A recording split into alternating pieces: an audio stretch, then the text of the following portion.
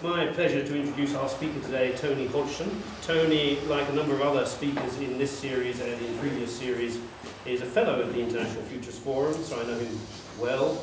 Uh, have known and worked with him for over a decade now.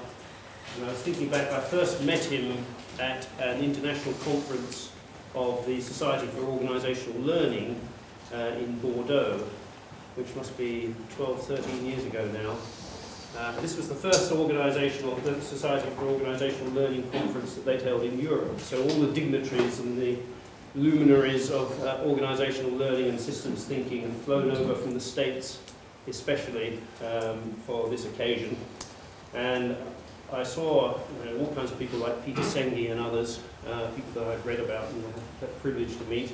Also met this other gentleman named uh, Tony Hodgson, who was obviously well respected and revered in this community as somebody who had a long uh, background and experience in corporate consulting and strategy work uh, and a strong theoretical uh, grounding in systems thinking, cybernetics, viable systems and all kinds of other things, um, arcane subjects that I knew nothing of then and know a little of now. Um, the remarkable thing about this gentleman was that he didn't come from the United States but from Pitlochry, uh, and so I latched onto him and followed up this connection once I got back to Scotland uh, and have stayed in touch and worked closely with Tony ever since. Uh, and what I've noticed is that that patina of what looked to me like very deep knowledge at that time about systems thinking and cybernetics was less than the half of it. Uh, and over the years, uh, he slowly revealed uh, more and more layers of knowledge and learning and wisdom uh, to me and to others. Uh, and I think the reason why he's able to do that is because he is a learner himself, uh, perpetually curious, always interested in the next thing, uh, and the next thing that he needs to learn in order to be, be more effective in the world. Um, another thing that I discovered about Tony was that uh, we shared an interest in learning and in education. Uh, and at that time I was running the Scottish Council Foundation with a big programme on education and the future of Scottish schooling. It turned out that Tony had run for a number of years an experimental school for his own children and children of other employees in his consultancy, uh, which is another mark of the man that, uh, although I suspect that quite a lot of what we hear this afternoon will see, seem deeply theoretical, um, all of this thinking is in the service of more effective practice. So this is a man uh, who doesn't only preach to others but takes his own medicine and puts it into practice uh, in the lives of himself and his children. And having met them, I can say that uh, I wish my children had been to that experimental school too. Uh, his, his subject tonight is resilience, uh, another subject that you can see would come out of uh, taking a systemic and a practical view of the world. Um, Tony's worked for a long time on issues of sustainability and viability of complex systems. Uh, his world system model, uh, the IFF world model, is the basis for the Understanding Glasgow model that some of you will have seen, understandingglasgow.com, kind of holistic set of indicators for understanding what it would take, the very the different aspects and facets of a city um, that need to be viable in order for the whole system to be viable. Uh, he's going to take us, I suspect, several steps further uh, this afternoon. His uh, subject is, is resilience enough? Knowing Tony, I suspect the answer is going to be no. Uh, but also knowing Tony, I don't think he's going to leave us hanging there uh, in that ignorance. He will offer us something uh, that is both stimulating, illuminating, and ultimately practical uh, to go home with. So um, I'd like you to put your hands together and welcome Tony Hodgson.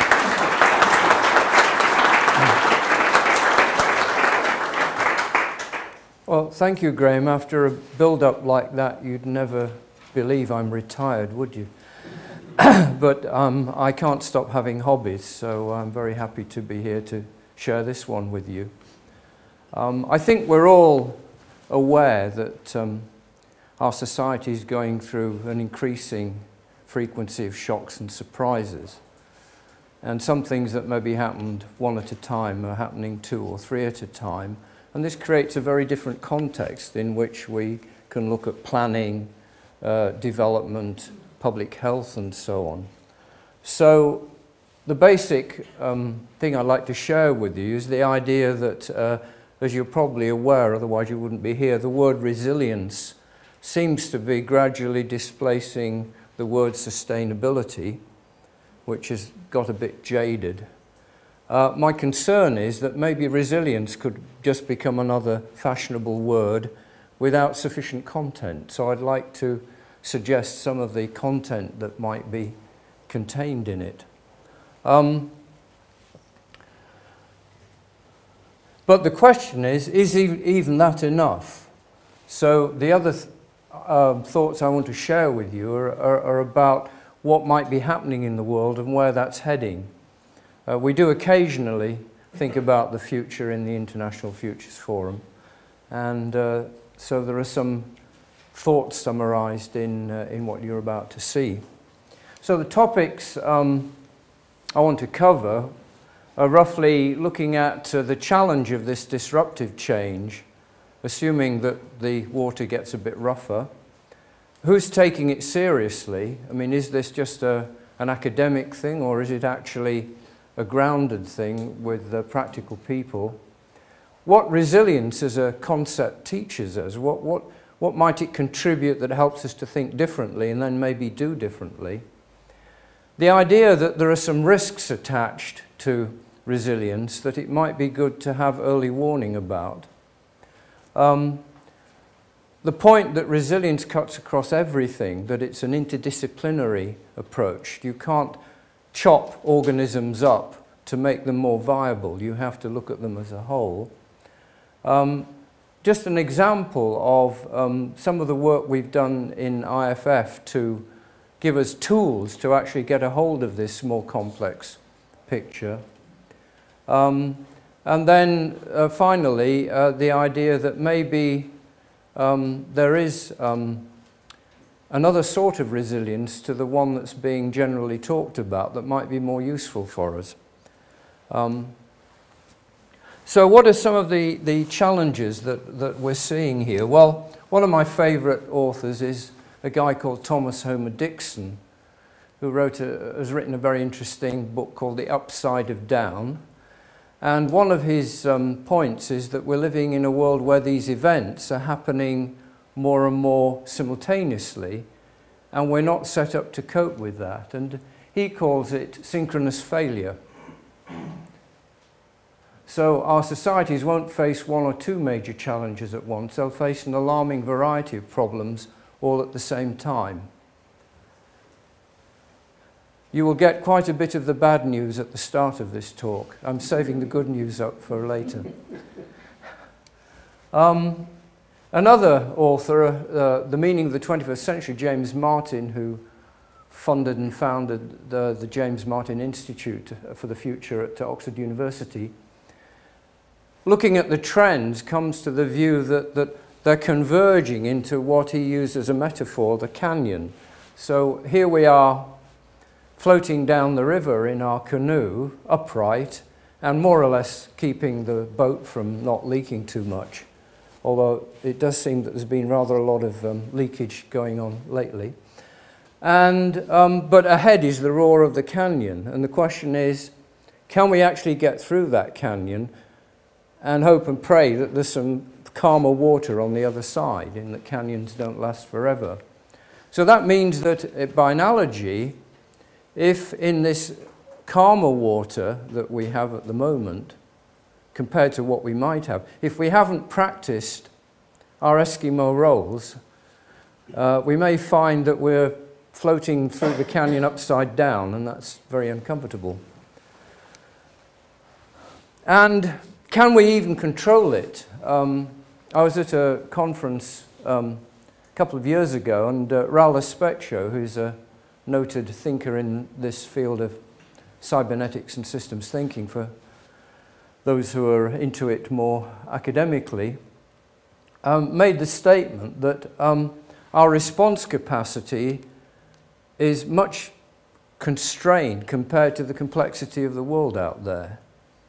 That however much um, neurobiologists go on about the 10 billion neurons in our heads, and so there are quite a lot in this room if we add them all together, it's still not of the order of complexity of the world that we're dealing with. And so there may be a very fundamental issue here that affects the way we think about resilience. So these leave our, um, what I call our adaptive capacity stressed. And so I want to make the case that for all the wonders of the last 50, 100, 150 years in the very technology supported global civilization with a global economy and emerging global culture, we still have built ourselves a very brittle society. Brittle means if it gets a shock, it breaks, it doesn't bend. Um, well, you know, I can mention Icelandic volcanoes just as a quick memory jogger there, that it doesn't take a lot to bring things to a standstill. I could even mention snow in Scotland uh, last winter. um, you know, that we, we, um, we have a, an interconnected infrastructure. If we look at the fact that almost everything that operates in our, certainly in our developed world, depends on the functioning of the internet, that I'm told by experts in the field that the voltage variation for a stable internet is very, very tiny. And I hear the astronomers talking about um, massive solar storms hitting uh, the, um, the atmosphere and, and putting out our communication systems. And then the sewage pumps go off because we thought it was smart to control them through the internet. So there are all sorts of cases can be made that the infrastructure, which is wonderful if things remain relatively calm, is actually a liability when things crash to pieces. Um, we've made a, a, great thing in economy of uh, getting rid of things like inventory, which is a cost, isn't it? So it reduces our profit. And so we get rid of redundancy. You know, if, if anything's duplicated, cut it. I believe that's a, quite a common theme at the moment, public services. But redundancy is a property of nature that gives nature the capacity to respond and adapt. So, um, as one of the directors of the New Economics Foundation puts it, Andrew Simms, we're only actually nine meals from Armageddon. Now, I found that a bit difficult to swallow until one day it rained very heavily and there was a landslide uh, between Pitlochry and Dunkeld. No traffic could get up the A, A9, where our food comes from mainly. And within two days, the um, co op's um, supermarket shelves were practically empty. Um, so, you know, that was just a tiny uh, little signal, a sort of uh, canary in the mine, so to speak, that, that disruptions to our infrastructure we're not set up to deal with. We don't have stores and warehouses like we used to. Um, we also put a tremendous expectation on what we call our emergency services. Is there anybody who works in emergency services here? No? Okay. Well, I'd just like to remind you that emergency services are people too. They have frailties, they have families, they have concerns. And yet, when something goes awry, we project onto them it's their responsibility to sort it out. Imagining, or not, not imagining, that they have the same issues that we might have about being snowed in or flooded or whatever. So, um, if as Thomas Homer Dixon says, we, we're heading for multiple impacts. The idea of an emergency service may be um, useful up to a point, but also out of date. and of course, we have a, created a very dependent society where you know, there's always somebody else's job to fix it. um, one of the lessons I learned about adaptability was um, wandering around on pilgrimage in India, where I realized the first job I had to do anywhere I stayed was to fix the plumbing. Then I could get a shower. Um, that, that, that, in fact we, we, we, we, we've created such a dependent situation um, that um, if we haven't got the specialists around, um, we can't deal with um, the, the situation. Um, So there are some risks attached to this that these kinds of disruptions, and I include in this things like the financial crisis, actually um, disrupt a highly interconnected system. It sort of falls apart.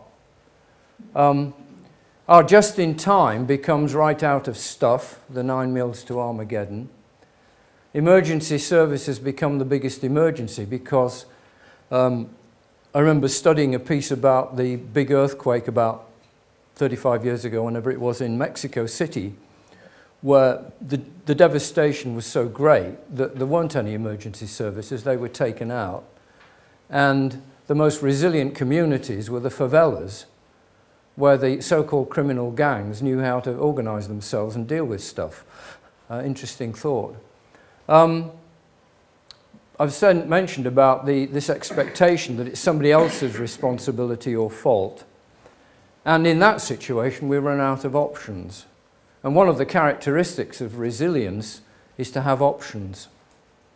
If, if there's only one thing you can do and that gets upset and you've no plan B or even plan C, then uh, that's not very good.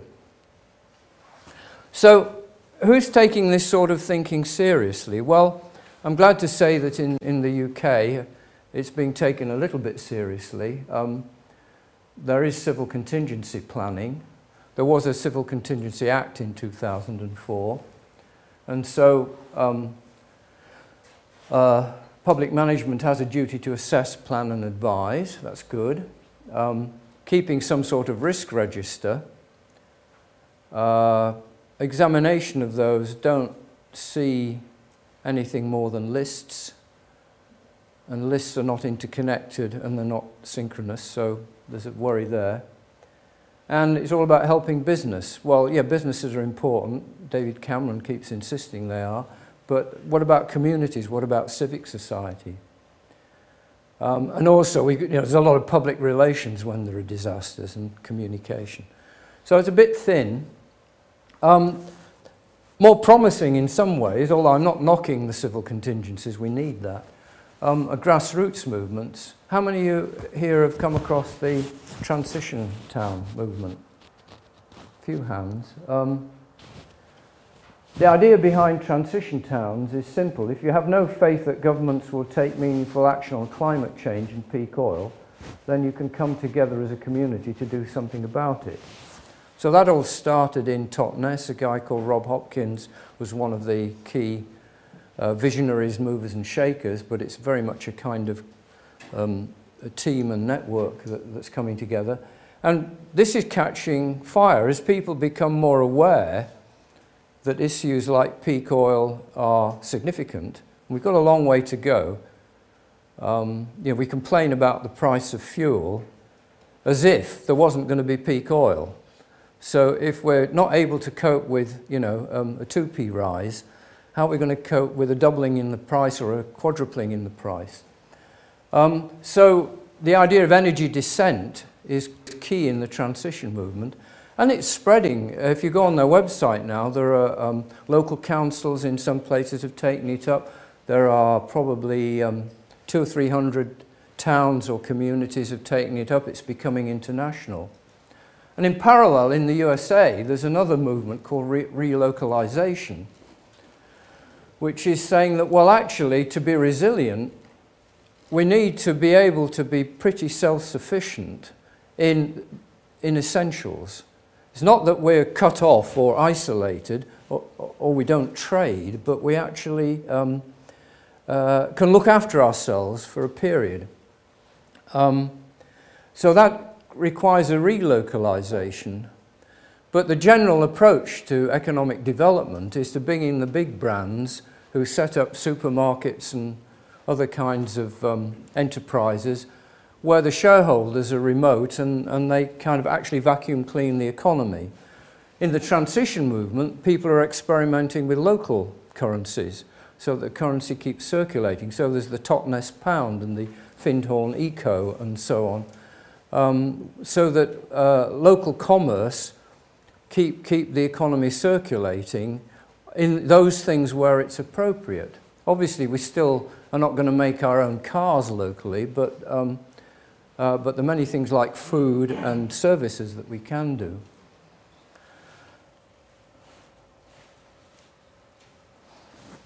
Now, believe it or not, big business is taking this. Uh, about a couple of years ago, I, I, checked out something called the United States Council on Competitiveness, and it was the usual blue chip uh, suspects. And what they were talking about was um, it's undeniable that the world has gotten more risky, Businesses now function in a global economy characterized by increasing uncertainty, complexity, connectivity, and speed. A challenge that demands resilience, the capability to survive, adapt, evolve, and grow in the face of change. So this is being taken seriously at, at, quite high levels. Of course, it's resilience in the service of protecting shareholder value, not necessarily communities. And some of this arose out of fear of terrorism, which is another factor in the um, possible synchronous failures. But there it is. It means that resources are going into thinking about this uh, that we might not normally know about. But we're uh, also here interested in our city, Glasgow, and um, it's interesting to note that uh, some of the Asian city authorities have got together and saying, look, this climate change really could be a threat to our business as usual. So we better start thinking about this, forming a resilience network which aims to catalyse attention, funding and action on building climate change resilience for poor and vulnerable people by creating robust models and methodologies for assessing and addressing risk through active engagement and analysis of various cities. So there's a whole kind of beginning of a comparative investigation of those kinds of issues.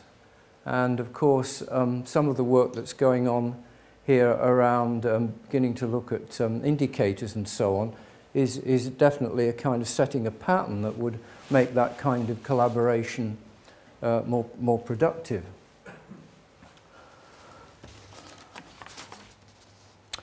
Well, so um, we can take it seriously, but the next thing we need to look at is there are certain fundamental problems we have, which if we don't address them, we risk getting into the superficial treatment of resilience. So the first one is that we organize our society by functional hierarchies, command and control, and if things are too complicated, we divide them up and dish out the responsibility. We've done it for hundreds of years and it's worked pretty well on the whole. We've even, even run empires that way. But in this new complex era that's emerging, functional hierarchies are becoming increasingly dysfunctional hierarchies. We need something else. And you can see that the emergence of social networks is one of the kind of re reactions to that. Um, we set up monocultures, you know, biggest is best, standardize everything, one size fits all. Okay, so we've got mass customization with modern technology, but it's still, you know, one iPod fits all. Um, at least that's what uh, Steve Jobs would like. Um, we've got economic models which um, are rather like those cartoons of the um, you know, the Pink Panther, I don't know. I certainly, maybe I'm a bit older, but I, I remember uh, Pink Panther, you know, he, he's got this ladder and it's great, you know, so he's, he's going up the ladder and it's so great, he just keeps on going, but there's no ladder. But he keeps going just long enough to realize that there's nothing there, and then he falls to the ground and gets squished. Uh, and I think our economic models are a bit Pink Pantherish in that respect. Um, we keep on saying the answer to everything is growth, but that assumes an infinite ladder. And uh, there are people I've come across who call that mindset the new flat earthers. It works if you have infinite dimensions in, in, in up, down, and sideways, but if you're on a sphere, it doesn't work. So there's something flat earthish about our economy, even though geographically we've, we've, we've, we've got that one sorted out. We've got to the spherical thinking. We haven't got to spherical thinking in our economy. Um, inappropriate infrastructure. Well, I've laboured this quite a bit that um, there's some interesting research going on in America around the idea of self-healing electrical systems. So that if you get um, uh, a massive disruption of the grid, that in a region it's designed in such a way that that region can look after itself for, say, three months. And if in that region that gets disrupted, in the local area, that can look after itself for, say, two weeks. So instead of everything going down flat, like we've seen in North America, um, for example, with the big brownout, you can actually conceive of systems that have that resilience built into them. But it's so different from the way we normally do things like electricity grids. And we, we plan to spend billions in refreshing the grid, and we haven't thought about this fundamental issue. Um, and we're stuck in a pattern. That's more to do with our psychology, that um, you know, we, we get used to the habits of thought that we have and the habits of action and habits of feeling. And, uh, and that stuckness prevents us from experimenting with, with alternatives that can give us a plan B or a plan C. So I've been doing some work on climate change recently for about a year for, on a government project. And um, it's siloed. You, you get the scientists doing one set of things, the policy makers at the polit political end doing something else, and then the people adding up the numbers doing something else. And the, the, the, the communication is really difficult. Um, and of course, part of that is the way that power has been exercised for ever since the invention of the university, really, was to divide and conquer the brain. You know, divide and conquer is a military strategy that works very well physically, but we've, we've entered a new era now, and we've, we've, we've not caught up with the fact that we've had our brains divided and conquered. And so it's very hard to get local resilience if we're stuck in these silos. Um, so we've got some educational challenges there. But I remember as a young man, I was very interested in uh, university education because I was going through one and I didn't like it. And I came across um, a guy called Lord Lindsay who helped to found Keele University. And there's one staying, saying since then um, has stuck with me ever since. The Lord, in his wisdom, did not divide the universe into faculties. uh, so, what we're trying to find out, if, if not the Lord's wisdom, at least the universe's wisdom in the way that, that systems work. So, a friend of mine, um, actually, he's a sort of distant relative, is an architect in a north of England city working in the uh, sustainable development design area, and he reached a point of frustration um, four or five years ago. And I'm afraid the slide doesn't come up too strongly, but here you've got city de design fragmented. Um, you've got architects, developers, planners, highways, all pulling in different directions and uh, no multidisciplinary working. It's locked into the silos. So that was his city planning as usual. Whereas here we've got the idea of, well, if there was a way of aligning these different forces and interests, and we had a way of pulling that together, um, then um, we could perhaps have a more effective way of approaching um, city design. And um, I'm doing some exploratory work with the University of Manchester's um, uh, Department or Centre for Urban Ecology. Urban Ecology, now there, there's an interesting interdisciplinary title. um, it actually exists and uh, director Joe Ravetz has written a very good book called City 2020 and he's updating it to 2050 now, I think. Um, I mentioned the monoculture thing. This is a picture of a palm oil plantation in Malaysia used to be rainforest. So what's that doing to the biological environment? Well, it's removing diversity and variety. The number of species of plant and insect and animal life in a rainforest is fantastic. We, we don't even know what it is yet. We're discovering new things all the time. In a palm oil plantation, it's pretty fixed. Um, we try and reduce the variability so we can control it. We've got to be in charge because it's economic and we need the palm oil for uh, biofuels. Do we? Uh, another question. Um, we centralize and homogenize things. Um, we get rid of any duplication, which actually, of course, might be our reserve for flexibility. And we pursue the economics of scale. I mean, we, so if we convert the whole of Borneo into palm oil plantations, wouldn't that be great? And, uh, well, they're working on it.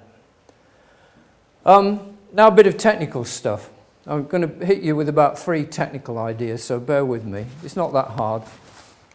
This is something I got from Bernard Lietaer, who's um, something of a, uh, a guru on uh, currency and alternative currencies. But he points out that uh, here's the curve of our current economy, and we pushed it to be pretty much centered towards throughput efficiency. Hence things like just in time, and um, scale and so on. And um, what this means is that, that throughput efficiency appears to be polar with rebound capacity. In other words, if you um, want higher rebound capacity, you've got to sacrifice some efficiency. So how you measure things is very critical. If all you measure is efficiency, I can guarantee you will end up with brittleness.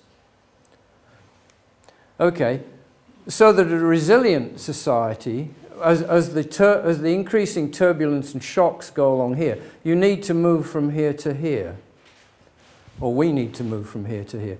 But this is a center of gravity. It's like the whole thing revolves around this. So that we have a real problem of how we get to here, from here to here. So that's expressed in this um, little drawing, um, which I make no apology for taking from complexity science. Um, we need to learn some of these new ideas. Um, the idea is that imagine this is an energy map. So this is high energy, lower energy, high energy, low, higher energy. And we're living in this particular valley.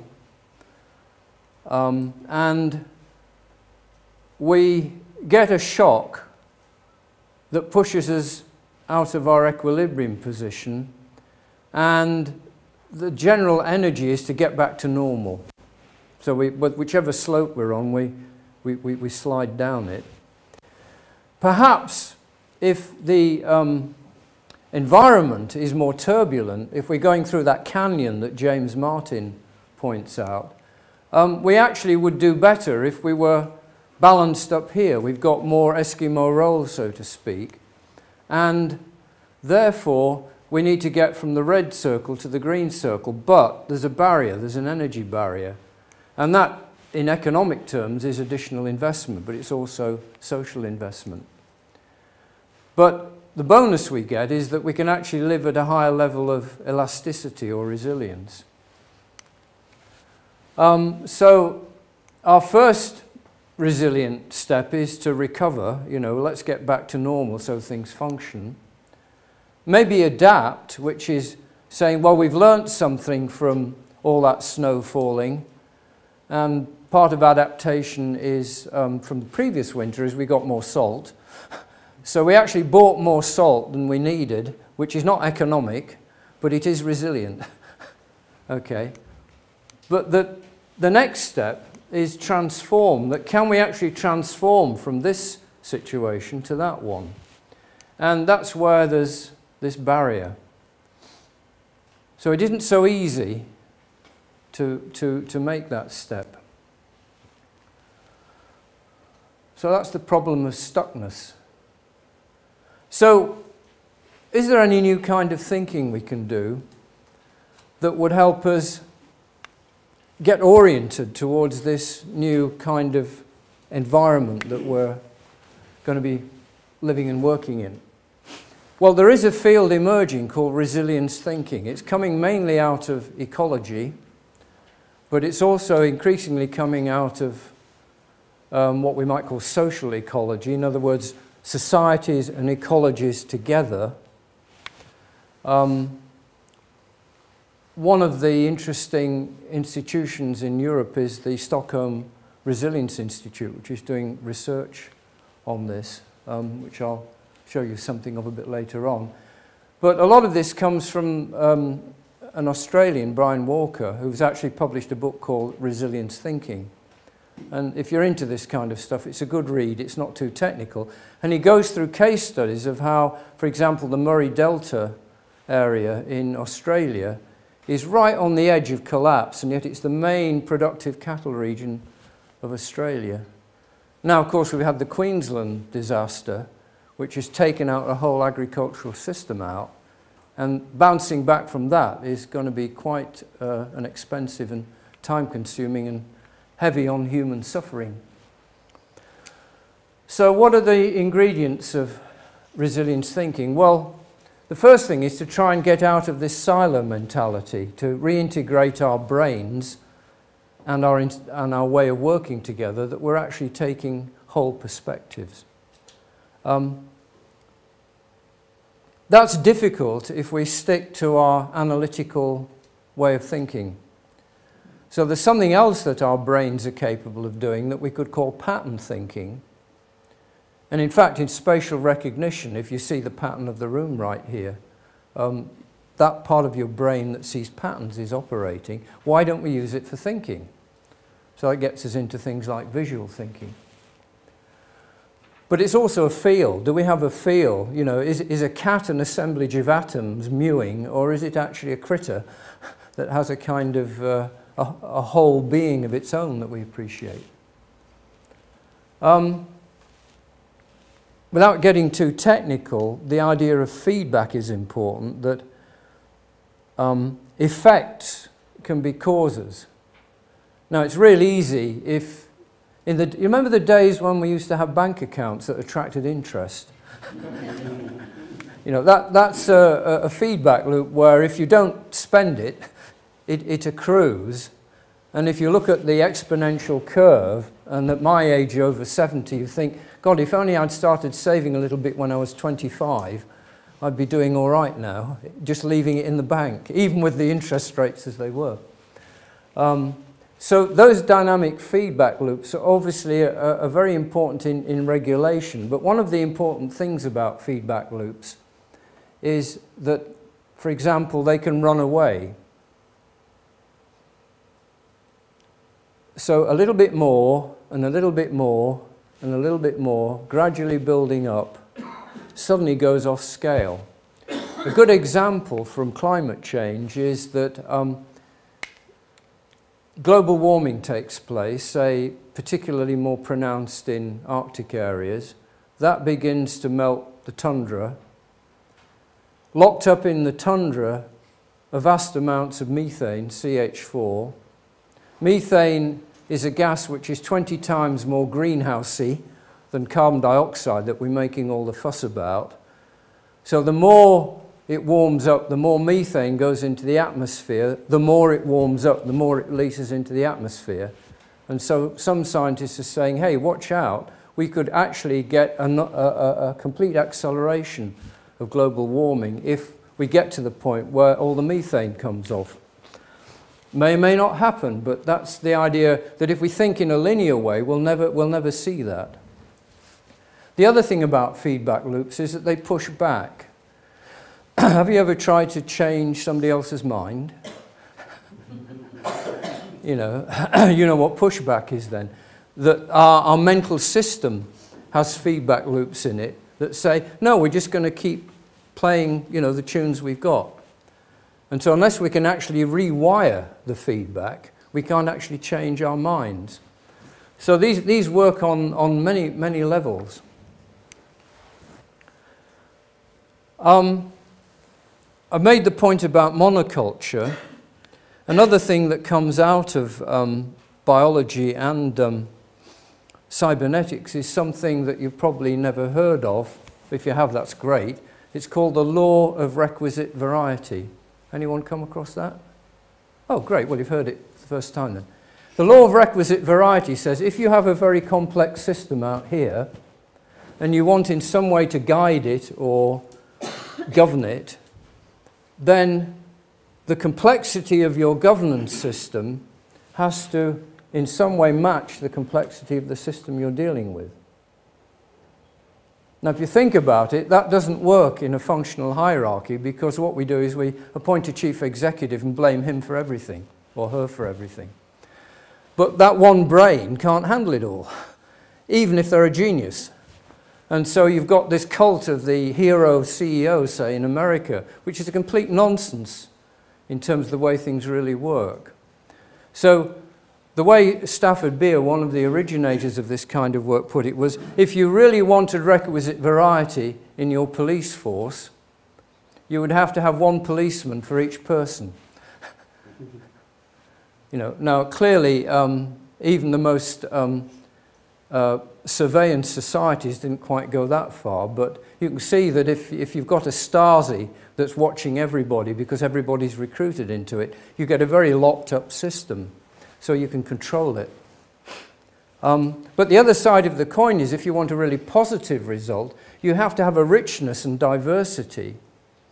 And so um, uh, having um, a wide variety of interests and stakeholders and um, ways of looking at things, um, although it's messy and may appear to be, obviously is a bit difficult to guide and, and, and manage, is actually more likely to have the capacity to respond to um, shocks and surprises. And there's some research that shows that companies that marginalized innovation and mavericks don't do well when the shocks hit whereas those that have got skunk works and um, tolerating what uh, some people call um, um, credible heretics or positive deviants actually do better because they've got more plan B, plan C capacity available. Put another way, you never know when something odd might come in useful. Um, the other thing that we need is, is to recognize that we've, we've entered an era of one planet living, and that isn't just something from James Lovelock and Gaian thinking and so on. It, it's um, civilizations used to collapse, and it didn't matter because they collapsed on a particular continent, and on another continent, a civilization didn't collapse. But we're now reaching the point where we're heading for possible collapse of the entire enchilada, as they say in America. Um, and so we've got a different situation. We don't have a planet B that's doing okay if planet A doesn't do well. So this move towards one planet living, however we look at it, is going to be critical in, in resilience. There's no such thing as being alone anymore. Um, of course, the other thing that we can get carried away with is with all these theories and ideas is that we forget people. It's us actually who are the beings who need to be resilient. And so that also raises things about um, our relationships, our mutual understanding, and our own self development. So, resilience thinking, you can see, is, is, is highly um, interdisciplinary. Now, another thing in resilience thinking is that it doesn't go in straight lines. We all like to have things in straight lines. We all like them preferably to go up to the top right hand corner of the graph paper. Um, but in um, resilience thinking, there's a view emerged which is called panarchy. A guy called Buzz Holling developed this. It's like anarchy with a bit of purpose behind it. okay, it's a good way to remember it. Panarchy. And this figure of eight is like a pathway of a living system. So, for example, here you've got a, a young forest with saplings that is able to exploit a fertile environment and it grows. But as it grows, it, it, it becomes constrained as one particular kind of uh, spruce forest or whatever it is. Um, for that forest to regenerate, curiously enough, it needs to catch fire. It needs to actually disintegrate. Whereas fire we think is a bad thing. Well, it is if it, we live next door and it burns our house down. But in terms of nature herself, forest fires are part of the cycle. And that releases a lot of um, material. It also, funnily enough, activates some of the dormant seeds that have been shed from previous generations. And a whole new uh, reorganization of that system develops. And it then reintegrates here, or possibly it goes off somewhere else.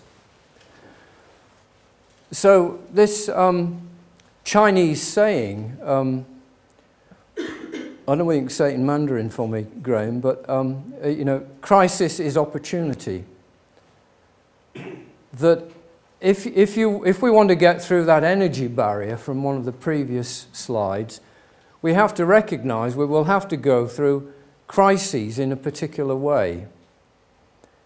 We put so much energy into avoiding them usually that we just bring them on in a different, unproductive way um, more, more strongly. Um, so the opportunity for redesign, um, if our business as usual setup doesn't work, is between here and here. Now, isn't it interesting if you look at how the bad guys managed empires, and frankly still do, what do they do? Well, they invent things called shock and awe, and they bomb the hell out of you. And when you're all in pieces, they insert the new, quote, democracy, unquote. um, and that's been going on for a long time, but we, we don't actually, they have a plan B, which is what they're going to do after the mayhem. Um, we, we don't. Oops. Uh, we, um, we don't have anything ready here that would enable us to perhaps propel to a different figure of eight up here. So part of the problem of resilience thinking is investing the time, energy, mental and monetary resources in preparing to transcend the crisis when it comes and not put all those resources in trying to fend off the crisis. Now you might say that's rather expensive in terms of human suffering. But a major crisis is expensive in human suffering anyway, and with intelligent design, maybe the crisis can be managed humanely and people looked after. So it doesn't have to be necessarily bad. It's called kind of reinventing society, if you like. Um, so moving on to um, risk now. Um, the risk is if we don't look at resilience, um, I'll have to read this because uh, it looks great on paper, but it's a bit washed out on the screen. In the face of disruption, we're trying to get back to normal, but we can't because we, we continue with this brittle model. And so the more we get into difficulties, the more we reinforce the model we've got. You know, we, it, it's much easier to put more resources into what we already know than what we don't. Um, we, we find out that our, we're putting so much burden on our civil contingencies that they get overwhelmed, that um, the alternative is the imposition of, in effect, a police state, um, but that can't deliver either, as we've seen historically around the world, at least only on a temporary basis. And the systems which are deeply locked in, um, nobody's going to give up their self-interest easily, just keep on perpetuating. But we could deal with that. You know, that would be good policy, good management, um, a more honest society, uh, and a certain amount of uh, mutual compassion, if you like. Supposing we succeed at that, we then move into the greater risk. We temporarily succeed in getting back to normal, only to find it quickly fails and leaves us worse off. Well, I mentioned the positive runaway feedback loops, that we've actually perpetuated a situation which was inherently out of control. It was going to sort of run away with itself. Um, there may be discontinuities sudden shocks and surprises that um, we just haven't um, allowed for. Um, we've been close to various kinds of economic collapse, and many of the pundits, I don't know whether Hazel Henderson talked about this, but uh, you know, it could happen again all too easily. Um, and um, it's interesting that our modern technology, like your cell phones, depends on certain transition elements in the periodic table, the source of which is mainly China. And guess what? China is developing its own need for these things and is cutting down on exports.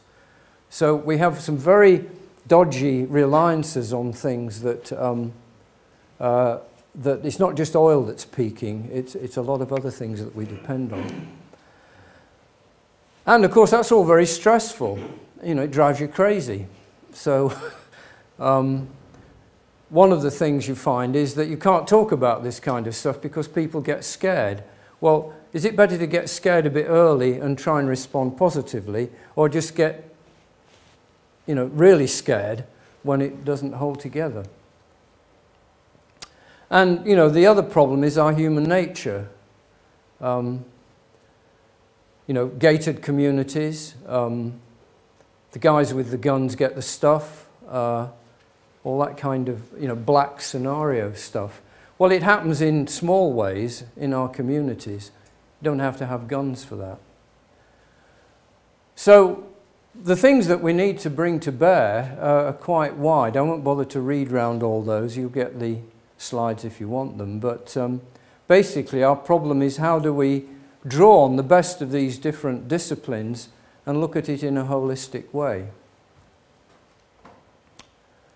So the question is, can we design for transformational resilience? This is the idea that on that panarchy cycle, that figure of eight, we're ready with the next pattern and we can take the opportunity when things are a bit fragmented and confused to actually get the new pattern working with much less pushback. Well, I'm quoting here Buckminster Fuller, a great favourite of mine um, from the previous century. Um, we need a design revolution. This isn't something, and I don't mean any offence to any politicians in the room, this isn't something that politicians can do. Uh, they may be able to help, but it essentially is, is a design revolution. We need to have much more integrity, and integrity is an interesting word because it means, on the one hand, integral in the sense of these different disciplines, but it also means integrity in the sense of values and ethics. Um, we've got to have this patterned thinking way of looking at the world rather than um, the analytical thing. Um, we need to realize we don't have the answers, so we need continuous learning. Um, and we've got to try and learn how to operate over the next hundred years within the system we're actually living in. Get out of the flat earth mentality. What are, what are these boundaries? Well, this is from the Stockholm Institute. Um, again, I won't go into the detail here, but this is biodiversity, which we've already blown. This is the nitrogen cycle, which we've already blown. This is climate change, which we've slightly blown. And these are some other areas which are getting worse, and these are some that we don't know how to measure yet, but they're important. So you can imagine that if the red bits are expanding, we're not doing a very good job. But there are human boundaries too. This is a, a graphic that one of our American IFF members, Bob Horn, drew a while back to say, what the hell's going on out there? Again, if you want to read it, you can look at the slides later. It's just the arrows and the tangly bits that give you the message. And how can we navigate through all that? So what we've um, looked at is what would the elements be of a, of a resilient community? And here's a list of really obvious things, and it's very important that they're really obvious. Food, trade, energy, climate, biosphere, water, habitat, wealth, governance and community. Um, there should be worldview in there somewhere as well. And if you join it all together, you get a nice kind of spider's web. Oh, it's right, it's white, that's why. Um, and um, there are 66 links there. Now, IFF was involved some four years ago, was it, in trying to get government departments in Westminster to talk together about the relationship between climate change and energy security. Proved impossible. Okay, a few years later, somebody set up a department for climate, energy and climate change, so maybe the message got through eventually, not necessarily from us. But that's the complexity that we're actually dealing with. And um, I'm going to skip this one because uh, we're running out of time and go back over that later. This is the complexity that you're dealing with. this is your indicators board, um, where you can see that anything that could happen in any one of these things could have repercussions on any of the others. They're not all equally connected, but it's quite a challenge to ask the question, if something changes in the poverty profile, what does that do for health? What does it do for transport? How does it affect lifestyle? How is community safety affected? And, and equally. So thinking in the round is actually something that, that, that requires this kind of patterned thinking rather than this checklist thinking. And if we don't have the right set of indicators, how do we know we're moving from brittleness to resilience? We might just be measuring increasing and better brittleness. So that's a, a challenge to, to think about. Um, now, all this is very heavy, and so what we found was, well, the way to do it is turn it into a game. You know, well, let's have fun with it. You know, we've gone through the gloomy bit, now let's turn it into a creative adventure. So, um, one of the things we come up with is a world game, which is like a, um, a play in three acts. Um, we, we first of all explore the, the concerns in, in the, the areas that we've picked. We then play at looking at different futures that that might lead to. And then we create a, a, an in the round wisdom council using some of the indigenous people's wisdom methods to say, well, how do we see all this together? Um, and, and get a collective intelligence moving. And here's an example we did on saving cities. Um, we haven't yet got a customer, but you know, you never know. Um, uh, we got very close to it. Um, but this is the idea that we're looking at people taking responsibility for particular areas and then having this sort of cross communication. So, the things we need to bear in mind if we're going to change the way that we practice these things is keep revisiting the whole, develop this kind of holistic thinking and feeling, encourage self organization um, the, the, the people who are closest to the situation probably understand best how to deal with it. Um, but at the same time, have multiple levels in mind because you can't deal with climate change at the level of what you're going to do um, in Glasgow city centre, although you can contribute to it in a small way. We talked a lot about connectedness, but the problem also we got is that we're over-connected. You know, if, if it, it, take the financial situation where microseconds of trading go on and computers keep playing with each other, and the whole thing, by the time any human being has caught up with what's going on, it's already moved on thousands of cycles. And so we actually create systems that have joined things up that shouldn't be joined up, and we left disconnected things that need connecting. The other thing about complex systems is they're full of surprises anyway. Modern complexity science has shown that complex adaptive systems have emergent properties. So isn't it fun? We don't know what's going to come up next. So that's another reason for being resilient. And the other thing is that we are the designers. You know, the design isn't the system out there. We are in the system, part of it. And therefore, our ethical integrity is also part of the system. And if it's lacking, then, well, we kind of know what we get. We get distancing, and people can go around, go around bombing their own people. Um, so, to sum up, we've created a brittle society with massive, large scale, unhealthy in interdependence. Um, it's increasingly vulnerable to synchronous failure. Um, making things safer in the old paradigm generally makes them increasingly unsafe. That's a scary one. Our short term keep it safe, simple, and cheap mentality inhibits the transformational vision. Or, as a, another way of putting it, is we, we take the resilience premium as profit in a capitalist society. It's false cheapness because it steals the resilience. And designing for transformational resilience within the planetary human limits is our best risk reduction policy and least costly for future generations. So, can we get from here to here? So, we need the answer to the question is resilience enough? No, it isn't no, Graham, it depends what you mean. we need transformative resilience. So, thank you. Thank you,